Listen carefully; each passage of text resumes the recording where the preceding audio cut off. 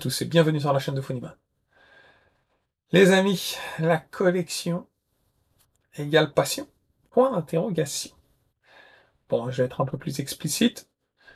Je trouve qu'en discutant avec euh, les amis, avec les abonnés, avec euh, des fois des inconnus dans les magasins de jeux vidéo, beaucoup, beaucoup souhaitent collectionner du jeu vidéo. Ça, c'est clair. Ça, je, je veux dire, on le sent tous, on le voit, on le vit, qu'il y a une émancipation de la collectionnite aiguë, mais pas tous dans le même objectif. On n'a pas tous le même but quand on collectionne du jeu vidéo. Évidemment, il y a plusieurs catégories, mais aujourd'hui, on va s'attarder sur une catégorie. Acheter du jeu vidéo pour coffret. C'est-à-dire, j'achète maintenant parce que plus tard, ça vaudra trop cher. Et si j'achète maintenant, à plus tard, ça vaut cher, donc mon jeu faudra beaucoup plus cher. Donc en gros, il y a le coffre-fort, les gars, on ouvre le coffre-fort, on achète du jeu vidéo. Ah, regardez là, toute une ribambelle de jeux vidéo là. J'achète. Voilà, là on voit, j'achète, j'achète, j'achète, j'achète. Je mets dans le coffre-fort et j'attends et j'attends, et j'attends, et j'attends. Et au bout d'un moment, je me rends compte que le jeu vidéo, il a pris de la valeur. J'ouvre le coffre-fort et je sors les lingots d'or. Ce que je vous dis là, vous allez dire, oh, elle arrête de tirer par les cheveux. Non. C'est le dire de beaucoup, beaucoup, beaucoup de personnes que j'ai pu rencontrer qui me disent, bah écoute, c'est pas compliqué. Moi, j'achète pas par, euh, par passion, par, euh, coup de cœur sur le jeu vidéo. C'est-à-dire, ouais, ce jeu-là, il est bien ou il est pas bien, à la limite, ils s'en foutent. Ce qui les intéresse, eux, c'est est-ce que ce jeu est en édition limitée? Est-ce qu'il va pas prendre de la valeur? Qu'il soit bien ou pas bien, à la limite, ils s'en moquent radicalement. Et du coup, ça m'a fait gamberger. Ça m'a fait radicalement gamberger sur le pourquoi du comment. Est-ce que Funiman à un moment donné, réfléchi comme ça. Est-ce que Funiman réfléchit comme ça? Est-ce que ça traverse l'esprit de tout collectionneur? Et du coup, j'en ai parlé à des potes, j'en ai... Euh, j'ai évoqué le problème, entre, entre guillemets. Est-ce que c'est vraiment un problème? Est-ce que c'est une mentalité de collectionneur? Est-ce que ça fait d'eux des spéculateurs? Donc c'est la question que je me suis posée. Bon, la première chose, qui est quand même... Euh, euh, il faut être tout à fait honnête il y a deux types de jeux vidéo, deux types d'achats de jeux vidéo.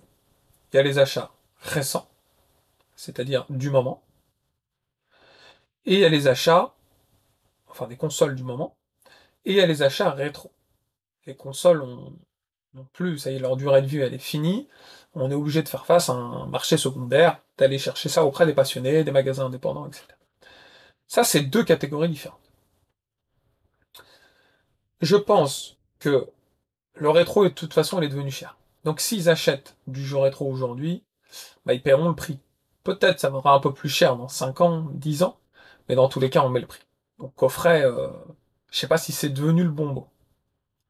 Mais on peut toujours acheter des lots rétro gaming pour se dire bon bah là j'ai payé cher, mais dans tous les cas, peut-être je m'y retrouverai vu que c'est un gros lot plus tard. Ça c'est une chose à la limite, je dirais que c'est une frustration qui ait euh, loupé le coche il y a plusieurs années. Par contre, dans le récent, c'est devenu un effet de mode. C'est-à-dire que ils savent tous qu'ils ont loupé le coche du rétro dans les années 2000, fin des années 90, 2000. C'est là qu'il fallait acheter le rétro game. Ils le savent, ça génère ce qu'on appelle une sorte de frustration, de remise en cause. On a envie de revenir dans le passé, de se dire, bah mince, si c'était le cas, j'aurais pris ça, ça, ça, ça, ça. Ça génère euh, de la réflexion. Pas de la jalousie, hein, je répète, c'est plutôt le mot frustré. Donc aujourd'hui, les jeux sortent et ils se disent, faut, faut plus que ça se reproduise. Il faut plus que je loue ce coche d'acheter euh, le jeu vidéo parce que ça vaudra beaucoup plus cher plus tard. Et je me rends compte, regardez, aujourd'hui, qu'est-ce qui vaut cher? Bah, Le Konami, il y a des jeux, il y a des RPG euh, qui valent une blinde, il y a les, les, les Castlevania, ça vaut toujours une blinde, ils sont dans l'or le jeu Neo Geo évidemment, les collecteurs, les anciens collecteurs qui valent une blinde. Donc, ils sont dans la comparaison avec le passé pour deviner le futur. En se disant, ces objets-là, aujourd'hui, ça vaut vraiment une blinde, donc il va falloir que je loupe pas le coche. Il y en a même qui se disent, il y a des jeux de merde, excusez-moi l'expression, qui se sont très très très très mal vendus, donc il faut que je les chope à présent, parce que plus tard ça vaudra du pognon.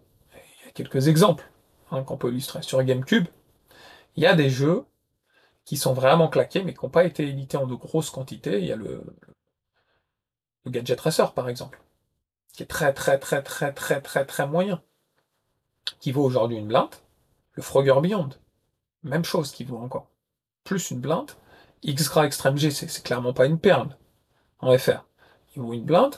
Après, à une échelle encore un peu en dessous, Chibi Robot, il est pas ouf. Il est un peu meilleur que les précédents, mais il est pas ouf. Il vaut, il vaut, il vaut cher aujourd'hui en FR. Donc ils se disent, les jeux qui étaient bien sur GameCube, est-ce que c'est les plus chers? C'est la question qui se pose. Alors évidemment, il y a des très bons jeux GameCube qui maintenant ont quand même pris un peu en cote, les Zelda, etc. Mais on est loin de ces petits jeux euh, qui n'ont pas été très bien vendus, peu édités, qui valent aujourd'hui une blinde. Et en fait, ils sont plutôt vers la recherche de ces jeux-là. Pour ça, quand je dis euh, égal passion pour interrogation, ils achètent des jeux pour, dans l'état d'esprit de se dire, mais lui, il n'a pas été édité en beaucoup d'exemplaires, il va valoir une blinde. Est-ce qu'on peut leur jeter la pierre? Pour ça, non. Je suis pas en train de faire une vidéo pour leur jeter la pierre. Je suis en train de, parler d'un état d'esprit de collectionneur. État d'esprit de collectionneur. Je l'ai dit au début de la vidéo, chaque collectionneur a son état d'esprit. Moi, ça va être la qualité. Je cherche à avoir la qualité et je cherche à, à, je vais dire, compresser ma collection, réduire un peu ma collection pour évaporer un peu toutes les merdouilles et garder la qualité. Ça, c'est mon souhait. Et dans mes futurs achats, j'essaie de les orienter hors période solde où je peux bénéficier de jeux pas chers que je connais pas et que je vais découvrir. Quand je fais un achat des One, j'essaie de faire en sorte que un ce soit un achat réfléchi. J'essaie. Des fois, je craque mon falza. Mais bon, 99% du temps, j'essaie d'avoir cette mentalité, cette ligne de conduite, parce que c'est ce qui me plaît. Quand on prend l'autre mentalité, acheter pour coffret, qui a une mentalité, il y a une réflexion différente. C'est plus une réflexion est-ce que c'est un jeu de qualité? C'est une réflexion est-ce que c'est un jeu en édition limitée? Est-ce que ce jeu va valoir pognon plus tard? Est-ce que cette manette édition limitée va valoir pognon plus tard? Est-ce que ce pack collector édition limitée va valoir pognon plus tard? Cette réflexion passe devant la qualité et la passion. Et je répète encore une fois, je leur jette pas la pierre. Chacun a sa façon de procéder. Et ces personnes-là, c'est pas des scalpers. Là, les personnes que je vous cite, c'est des personnes qui achètent le jeu, qui le coffrent. Il n'y a pas de la revente derrière ou quoi que ce soit. C'est leur collection. Ils le coffrent, et le coffrent, et le coffrent, et le coffrent. Et peut-être dans 10 ans, ils se diront, bah, moi, je l'ai ce jeu-là, il vaut une blinde. Moi, je l'ai ce jeu-là, il vaut une blinde. Moi, je l'ai ce jeu-là, il vaut une blinde. Rule of Rolls, PS2. On n'en parlait pas à l'époque de la PS2. Aujourd'hui, il vaut une blinde. maintenant, en PS3, on s'en rend compte. En PS3, maintenant, il y a des jeux qui émergent comme ça, des no-name qui valent une blinde. Tout est une question de ratio. Tout est une question de combien de jeux sortis, combien de jeux disponibles. Maintenant, c'est devenu que ça. La PS3 en est l'exemple même. Je vous garantis que quand j'étais dans la PS3, joueur, joueur collectionneur, c'est un grand mot parce que je suis pas, j'ai jamais été un, acharné à me dire, faut que je chope ce jeu la PS3, je vais regarder. Je, faisais rien. J'allais au magasin, ce jeu pouvait me plaire, je l'achetais, j'y jouais et c'est tout. Certes, ça m'a défini une ludothèque assez importante. J'ai beaucoup de RPG parce que je suis un fan de RPG. Il y en a qui sont encore sous blister parce que j'ai pas pu jouer à tout. Mais j'ai jamais fait une, rétrospective dans le détail, ça, ça, ça. Au jour d'aujourd'hui, à ce jour, pardon, à ce jour, il semble évident qu'il y a des titres sur PS3 qui n'ont pas été énormément édités qui valent aujourd'hui une blé. Des titres qui sont pas forcément les meilleurs. Donc, les gens ont ça en tête se disent la PS3 c'est tout récent. La Wii U c'est tout récent. Les jeux qui valent le plus cher, c'est les jeux qui sont claqués au sol. Les jeux boudés par beaucoup de monde qui, euh, ou qui sont été édités en très très peu d'exemplaires. Alors Projet Zéro il vaut cher, elle est pas bidon. Mais je veux dire Cabela, c'est une grosse daube. Et il y en a beaucoup d'autres, là, le jeu avec le fusil, je sais plus comment il s'appelle. Il y a le jeu, euh, il y a des petits jeux qui valent 100 balles et qui sont claqués. Kung Fu Panda, des Hello Kitty, des trucs comme ça. Quoi. Bref, chacun jugera euh, comme il le souhaite. Mais ce que je veux dire, c'est que si on réfléchit comme ça, on se forge une collection par rapport à une hypothétique prise de valeur. Donc ça veut dire que la collection, elle est clairement pas, elle ne caractérise clairement pas vos goûts, mais plus, plus un devenir de prix. Et, je vous garantis, ce que je garantis, c'est Funiman quand même. Il parle avec beaucoup de monde dans le domaine du jeu vidéo. Vous vous en doutez. J'ai une chaîne YouTube. La chaîne YouTube me permet de parler en off avec beaucoup de personnes. La chaîne YouTube me permet d'avoir aussi des contacts à droite à gauche, même si j'ai une toute petite chaîne. Ça le permet un petit peu. Et je vous garantis qu'il y en a beaucoup, beaucoup, beaucoup qui sont dans cet état d'esprit. Et ce jeu va valoir une plainte. Il faut que je le prenne. Là, actuellement, il y a un jeu qui fait polémique. C'est Concorde sur PS5 qui a été retiré de la vente. Mais certains ont réussi à, le choper avant que le magasin le renvoie. Une minorité. Ils se disent, bah, ce jeu-là, il va valoir une plainte. Est-ce qu'ils ont tort? Non. Il a été retiré de la vente. C'est dur de le choper. Il vaudra une blinde. C'est une réalité. Donc il y en a plein qui font des pieds et des mains pour essayer de se le choper. Est-ce que c'est une bonne chose, ou une mauvaise chose? Chacun jugera. Quand un jeu sort en édition limitée, type, je sais pas, euh, je, remets ça sur le terrain Iron Meat, 4000 exemplaires, les gens l'achètent pour y jouer, les, gens l'achètent que parce qu'il est en édition limitée et va valoir pognon plus tard. Ça veut dire que dans les 4000 ventes, je pense qu'il y en a bien 3000, j'exagère pas, qui sont là pour se dire, bah, ce jeu, je le garde sous blister, je le coffre. Je le coffre. Le bon mot, c'est le coffrage. J'ai un coffre-fort dans ma chambre, les gars. Le coffrage. Il le coffre. Moi, je peux pas leur jeter la pierre, encore une fois. Parce que c'est leur état d'esprit de collectionneur. Je, vais jeter la pierre, peut-être, allez, aux revendeurs qui le chopent en plusieurs exemplaires et qui le revendent dix fois le prix euh, deux jours après. Ça, ça, ça me met le seum. Mais un mec qui l'achète one shot, une fois, un exemplaire et qui le coffre, il fait ce qu'il veut. Hein. Je répète, je, après je vous donnerai mon point de vue à ce sujet. Mais, il fait ce qu'il veut, il a le droit, mon point de vue, c'est-à-dire, est-ce que moi je le fais? Hein. Il a le droit de le prendre en se disant, c'est un objet de collection qui va prendre de la valeur, qui n'a pas été édité en beaucoup d'exemplaires, je le garde pour ça. Il a le droit. Maintenant, la question qu'on doit se poser, c'est est-ce que toute une collection peut être basée sur ça? Est-ce que l'état d'esprit de, se baser sur ça, est-ce que c'est prolifique à une bonne consommation, à une bonne passion du jeu vidéo? Donc, évidemment, évidemment, je pense, et je l'espère, que ces collectionneurs achètent aussi des bons jeux. Je l'espère aussi qu'ils achètent des bons jeux et des jeux rares, même s'ils sont claqués, pour leur collection. Parce que le but d'un jeu vidéo, c'est d'y jouer. Donc, il faut être conscient que derrière ça, il y a une, démarche pour ouvrir le jeu, pour jouer, pour se faire plaisir. Quitte à acheter deux, exemplaires. Mais il va falloir à un moment donné y jouer.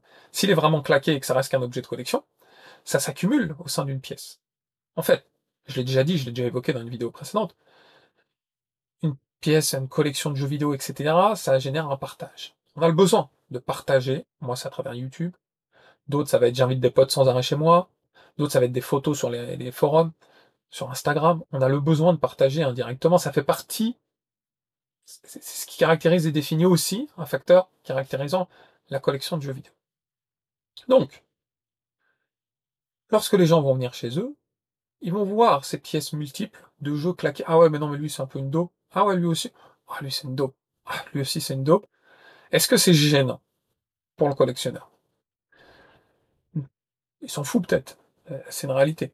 Mais je veux dire, dans le sens de la partage avec un pote, bah, ton pote, il va te dire quand même, euh, bah, t'achètes des jeux bizarres quand même.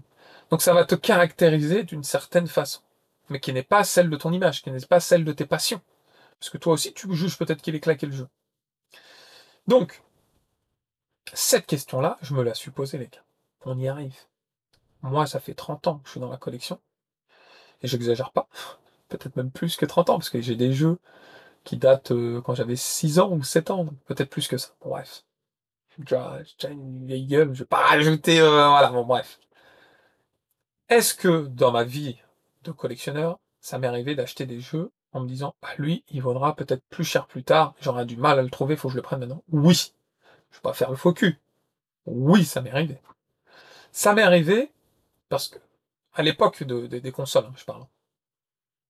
C'est-à-dire, euh, je sais pas, en 2005, quand il y avait de la GameCube, et des fois, je me suis dit, voilà, c'est, allez, ce jeu-là, oh, je sais pas ce qu'il vaut. Alors, c'est quel jeu? Bah, Gadget, Gadget Racer en l'occurrence. Voilà. Je, je sais pas, je sais pas Je l'ai vu deux fois, trois fois, je l'ai lu trois fois, je crois, dans ma vie.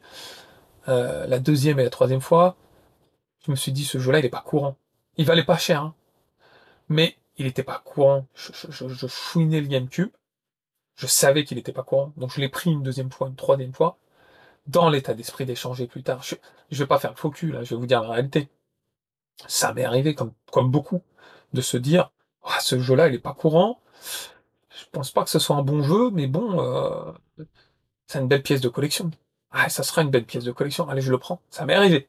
Je, je vais pas vous mentir. Est-ce que j'ai des exemples, des exemples comme ça en tête?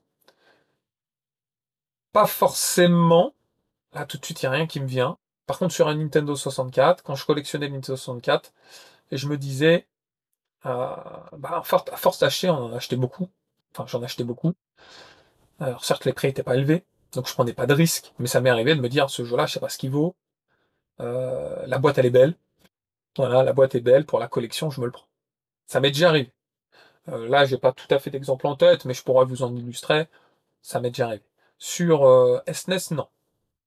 Sur SNES, généralement, j'achetais quand j'aimais, euh, ou quand c'était dans des lots, je gardais euh, parce que ça faisait partie du lot. Sur, vous voyez, la DS, Game Boy Advance, j'achète jamais de dope. J'ai jamais acheté de dope, même tout court. Que ce soit au moment de la console, ou plus tard. Ça, c'est clair. Mais ça m'est déjà arrivé. Maintenant, sur les consoles récentes. Sur les consoles récentes, parce que euh, l'objet premier de la vidéo, c'est quand même ça. Sur les consoles récentes, j'arrête de parler avec les mains, les gars, ça fait bouger la caméra. Sur les consoles récentes, est-ce que ça me traverse l'esprit? Oui. Plusieurs fois, je vais à mon Leclerc fétiche, mon pote, il me dit là-bas, euh, ah bah celui-ci, il est pas courant, hein. j'ai eu du mal à me choper deux exemplaires, il est pas courant. Donc ça me traverse l'esprit à me dire, ah ouais, c'est vrai qu'il est pas courant, celui-ci va être dur à choper plus tard. Des fois, c'est des éditions limitées, et on le sait, bah, quand c'est édité en 600 exemplaires, 1000 exemplaires, 2000 exemplaires, ça signifie que ça va être compliqué à choper. Des fois, ce sont des jeux qui sont pas en édition limitée, mais qui ont été édités comme ça en faible quantité. Et eux, c'est peut-être les jeux les plus complexes, parce qu'on sait pas trop comment, euh, combien, etc. Et oui, ça me traverse l'esprit de me dire, bah ouais, ce jeu-là, euh, là, il vaut 45 balles, par exemple, ou 50 balles, je le prends, bah, ce jeu, là, il sera peut-être rare. C'est genre un objet rare dans ma collection. Ça me traverse l'esprit. Est-ce que je franchis le cap et que je l'achète? Non. Le seul élément qui, des fois, me fait acheter un jeu un poteau, c'est de me dire, ce jeu me plaît. C'est un RPG. RPG, vous savez. Qui me plaît. Si je l'achète pas maintenant, peut-être je vais galérer à le retrouver. Ayuden Chronicle. Et l'exemple même de la situation, je, je l'ai pris, Day One, je savais que je voulais le faire. Je savais que je voulais le faire. Je l'ai pris Day One. Je l'ai fait. Je l'ai déblisté. Je l'ai torché. j'ai kiffé. J'ai surkiffé. Et derrière, c'était introuvable. Sur Switch. C'était introuvable. J'ai dit ouf. Heureusement que je l'ai pris. Parce que euh, j'aurais jamais pu kiffer autant le jeu. Vraiment, je l'ai fait deux fois, je peux vous dire. Hein. J'apprécie beaucoup le jeu. Je me dis, ça me traverse, l'élément qui me traverse l'esprit, c'est ça. C'est de me dire, ce jeu, si je me le chope pas maintenant, je vais le louper plus tard. Ça m'embête parce que ce jeu-là, je le. Ça, ça m'arrive. Et c'est souvent un élément qui me fait acheter un jeu des One. Et parfois, je le regrette. Parce que je le retrouve 15 balles, 20 balles, 30 balles moins cher un an après. Et je me dis, bah mince, j'aurais été patient. La patience, elle est souvent récompensée. C'est vrai. Donc, c'est, c'est souvent ça qui me pose un peu euh, réflexion. Mais j'ai arrêté, parce que ça m'a traversé l'esprit, de me dire, ce jeu-là sera rare, il faut que je le prenne. Non, je regarde d'abord des facteurs et des critères autres qui sont bon jeu, thème qui m'intéresse. J'aime bien les RPG, j'aime bien les Metroidvania, j'aime bien les roguelike, j'aime bien des versus fighting. Donc j'essaie d'aller dans le sens des jeux que j'aime. Je prends le temps de lire des tests. Les beat'em up, je kiffe par exemple. Je prends le temps de lire des tests et je fais le tri. Une fois que j'ai fait le tri, je forme ce qu'on appelle ma wishlist. Même si j'ai pas forcément joué au jeu, j'ai pris le temps de lire, j'ai pris le temps d'observer des vidéos sur le net, des tests de, de potes youtubeurs, des tests de youtubeurs que je connais pas. Je m'imprègne. Et après, je me dis, bon, bah, ce jeu-là, franchement, je le veux. Ça y est, il est rentré dans ma wishlist. Et c'est là que je vais faire la recherche pour essayer de le trouver et que je me pose la question est-ce que je le prends maintenant ou plus tard pour savoir si je peux bénéficier d'une réduction? Parce que les jeux coûtent cher en masse. Les jeux récents en masse, ça coûte cher. On achète 10 jeux récents, on n'est pas loin de 500 balles. Donc, je suis un peu dans cette réflexion-là maintenant, mais je suis plus dans la réflexion, j'achète pour coffret. Et je dis je suis plus parce que ça m'a traversé l'esprit. Je dis pas que je l'ai fait, parce que dans ma collection, il y a, à part sur GameCube et Wii U, où j'ai des daubes, le reste ça va. Franchement, ça va. Mais ça m'a traversé l'esprit. À l'époque de la Wii U, quand j'ai voulu faire un full set, parce que j'avais entamé le full set GameCube, je l'avais pas fini, je me suis dit full set Wii U, je vais y arriver. Euh, bah, j'ai commencé à acheter des jeux comme ça. Au moment de la console, je En me disant, bah, ce jeu-là, euh, franchement, euh, il est dur à trouver dès maintenant, alors qu'il est en vente, bah, je vais le prendre. Alors que c'était une double, le jeu de poisson, il y a, je sais plus, voilà, j'ai acheté, en fait. Ouais, je l'ai trouvé à 10 balles sur Amazon. Je le voyais jamais ce jeu-là, je le prends. Hot Wheels. En FR, on le voit pas souvent. Ah si, je le prends. Ah lui, on le voit pas souvent. Allez, je le prends parce que je vais, je vais coffrer. Ça me fera mon full set euh, plus tard. Mais, en cours de chemin, j'ai réussi à m'auto-raisonner. En me disant, mais t'achètes beaucoup de merde. Est-ce que les full sets, ça te plaît, en fait? Est-ce que, est-ce que t'as envie d'avoir ça euh, chez toi? Est-ce que tu vas y jouer au jeu? Est-ce que, et en fait, je me rendais compte que je jouais qu'aux jeux Nintendo sur Wii U. Je jouais avec mes enfants quasiment que aux jeux Nintendo. Aujourd'hui, les jeux Wii U sortent sur la Switch. Regardez, ils viennent d'annoncer Xenoblade Chronicle X, le jeu que j'ai saigné, que j'ai passé 100 heures dessus. La Wii U me sert plus à rien, les gars. Tous les très bons jeux Wii U sont sur la Switch. Et le reste, c'est des daubes qui sont pas sortis sur Switch. Je suis méchant avec la Wii U. Mais c'est la réalité. Et bah, vous voyez, ça va faire encore. Le fait que ça ressorte sur la Switch, ça va rendre le jeu Wii U encore plus galère. Ça va rendre les prix Wii U encore plus chers. Mais au cours de mon chemin, je me suis raisonné, je me suis dit, j'arrête. Je fais plus de full set Wii U. Ça m'intéresse apps. Il y a trop de merde. Je, je vois aucun intérêt. Posé sur une étagère, il finira sur une étagère, le full set, et j'y toucherai plus. Déjà, mes jeux Wii U, j'y joue plus. J'avais plein de packs console Wii U, je voulais pas le full set de Wii U. J'en ai donné plusieurs à mon poteau Michael. Euh, j'en ai donné un autre à un pote qui a, des enfants. Je filé carrément pour qu'il joue avec ses enfants. Je, je dis pas que je me débarrasse de la Wii U. C'est pas ce que je dis.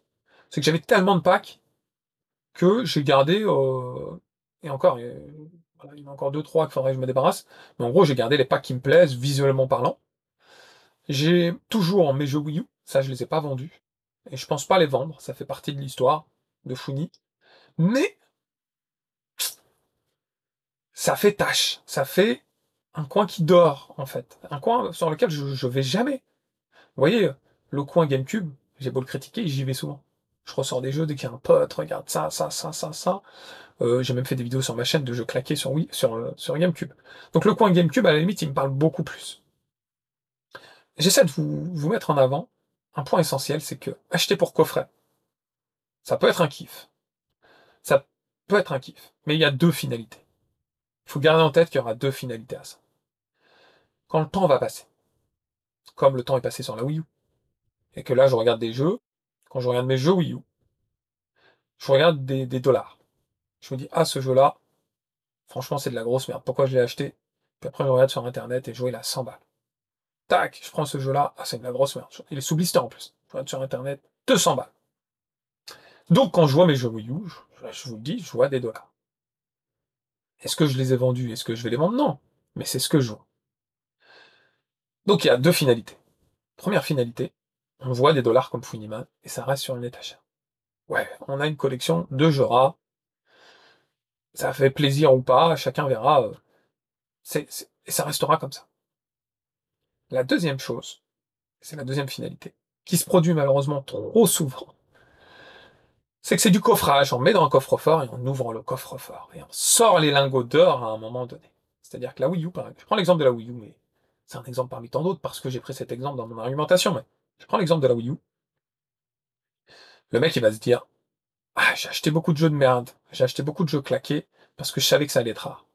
Ça y est, ça a dormi pendant X temps. Fut un temps où il fallait que ça dorme 20 ans. Après 15 ans, 10 ans, aujourd'hui, ça dort 2 ans, c'est suffisant. Franchement, la Wii U, la PS3, ils ont pris en valeur, mais de ouf. La Switch a pris en valeur avant même d'être morte. Donc, je peux comprendre que dans l'état d'esprit de ces personnes, vont se dire, bah maintenant, ça y est, ça a déjà pris de la valeur. Ça y est, ça s'est transformé. Les cours boursiers ont bien monté. Tous ces jeux-là que j'ai achetés 10, 20, 30 balles, aujourd'hui, ça vaut 50, 100, 300 balles. Donc, je vends. Je vends, je vends, je vends, je vends, je vends tout. Et l'investissement de 3000 euros en 2013 vaut aujourd'hui peut-être 20 000 euros, 15 000 euros. Et cette mentalité-là, donc ils n'étaient pas des spéculateurs, ils n'étaient pas des scalpers, revendeurs immédiats, mais ils deviennent des investisseurs. Ça se transforme en investissement. Ils deviennent des investisseurs, non pas sur le l'or, sur le café, sur le jeu vidéo. Est-ce que beaucoup sont des investisseurs? Peut-être. Est-ce qu'ils se restent des collectionneurs? Oui, parce que pendant 15 ans, ils, collectionnent. Donc les gars, cette mentalité de collectionneur, elle est ultra présente. Méga présente. Sur la Switch, console de cœur. J'arrête pas d'en parler, je fais des lives où je veux mettre en avant les très bons jeux dans mes lives. Je suis partisan de générer une collection de passion et de qualité. Essentiel. Bien-être, et euh, parce que une passion, ça doit rester une passion. Je la mets souvent en avant. Et du coup, je présente beaucoup de jeux Switch que j'achète. Moi, je considère que ce sont des bons jeux. Je suis à l'écoute de la communauté pour découvrir, parce qu'il y a tellement de jeux sur la Switch qu'on découvre tous les jours de, bons jeux. Mais je me rends compte que beaucoup, et quand je vais dans les magasins, je le vois, achètent des jeux Switch parce qu'ils savent que ça vaudra de pognon plus tard.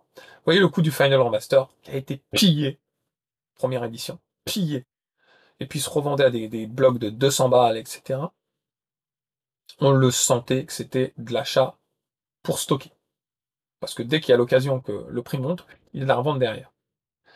Quand ils ont annoncé, je suis désolé, je vais vous donner un petit zoom là, quand ils ont annoncé la sortie du 30e euh, de l'édition anniversaire là,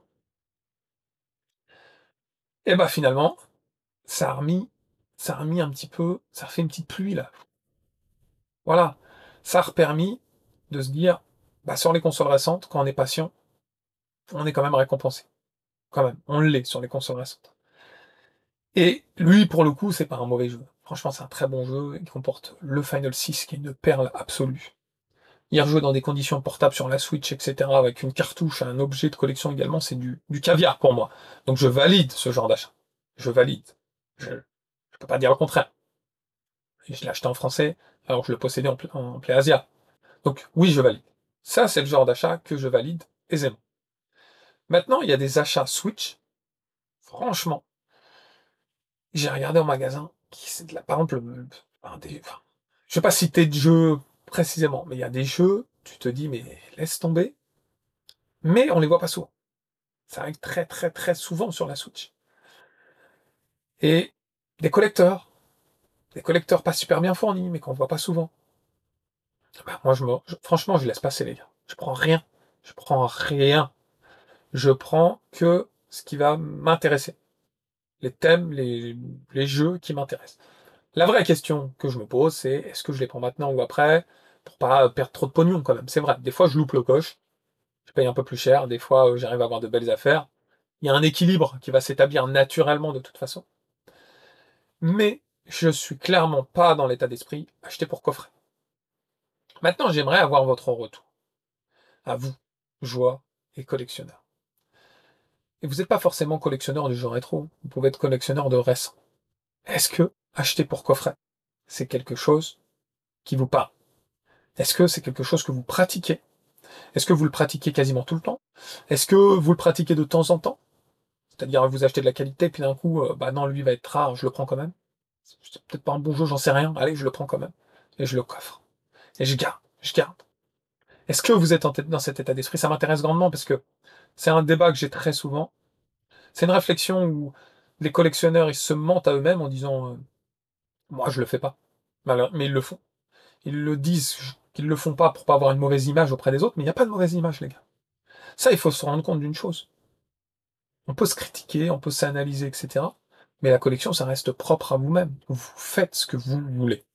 La mauvaise image, actuellement, c'est quand tu un jeu sous mon nez, édition limitée qui vient de sortir, et tu me le revends sous mon nez, dix fois le prix. Là, oui, c'est une mauvaise image. Mais si tu achètes un jeu et que tu le gardes chez toi, tu fais ce que tu veux. Et ça, c'est essentiel, en fait. Moi, ma collection, je suis content de faire venir des potes, est-ce que ça te plaît, machin, ouais, voilà. Au fond, c'est savoir si ça me plaît à moi. C'est ça. Quand j'achète un jeu, c'est moi qui sors l'argent de mon compte. Donc, gardez en tête que vous faites ce que vous voulez. Vous avez le droit de vous exprimer également. Sur cette chaîne-là, on fait des analyses, mais on ne fait pas euh, d'attaque. Moi, ça m'intéresse de savoir. Et si vous achetez pour coffret, et que vous jugez que c'est juste parce qu'il était en édition limitée et que le jeu n'est pas forcément bien, j'aimerais des exemples en commentaire. Euh, je ferai certainement un, live plus tard où on rediscutera de ça ensemble parce que c'est un thème qui me qui me plaît. C'est un thème qui me plaît parce que ça, caractérise une collection. J'aime tout ce qui caractérise les collections. J'aime observer. Il y en a qui font des collections de jouets, il y en a qui font des collections à thème. Il y a de tout et j'aime observer ça. Je, prends, ça fait partie du packaging de collectionneur en fait. Voilà les amis. Débat que je juge intéressant. J'aimerais avoir votre point de vue à ce sujet. En tout cas, j'espère que vous avez passé un bon moment en ma compagnie. Si c'est le cas, n'oubliez pas le pouce, le pouce qui fait plaisir. Et puis, si ce n'est pas déjà fait, de vous abonner à la chaîne. Dans tous les cas, les gamers, je vous dis à très vite. Ciao, ciao.